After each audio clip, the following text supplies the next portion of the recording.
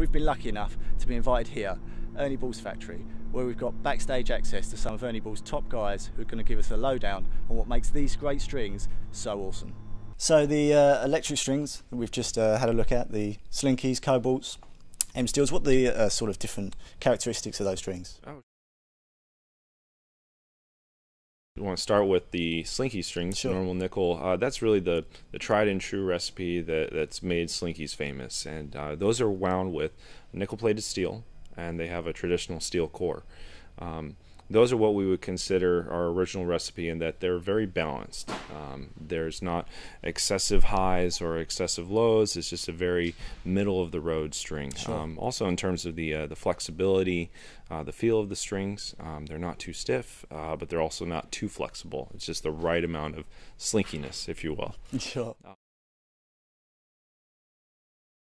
Cobalt slinkies um, would be the next step, which came out in 2012. Um, those utilize um, exclusive alloy that we developed that is a iron cobalt alloy, and um, the real benefit behind that is that's a more magnetic material.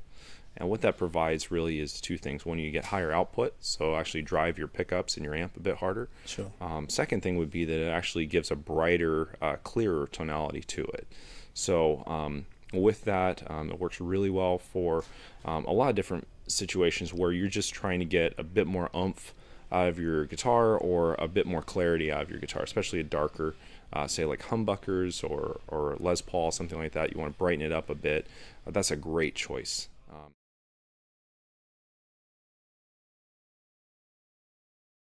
lastly would be the M Steel Slinkies. And in that case, really, it's almost like uh, Cobalt Slinkies on steroids, if you will, because it, yeah. it takes it that much further. Um, they are a bit more expensive, uh, but with that, you get a number of benefits. Uh, main one being you get a lot more low end.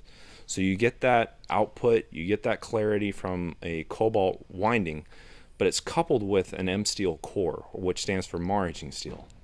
And so that maraging steel core gives it just this massive, massive low end coupled with this really clear, bright high. And so with that, you get this very full kind of HD sound.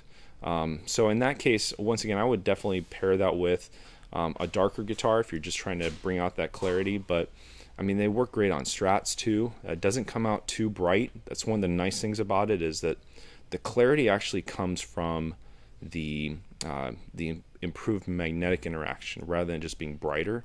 So it's it's just clearer, more pleasant on the ears without being harsh and bright.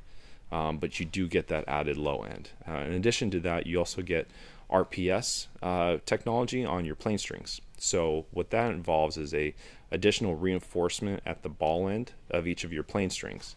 That allows the strings to break in faster, they have better tuning stability. Just basically think strings with insurance.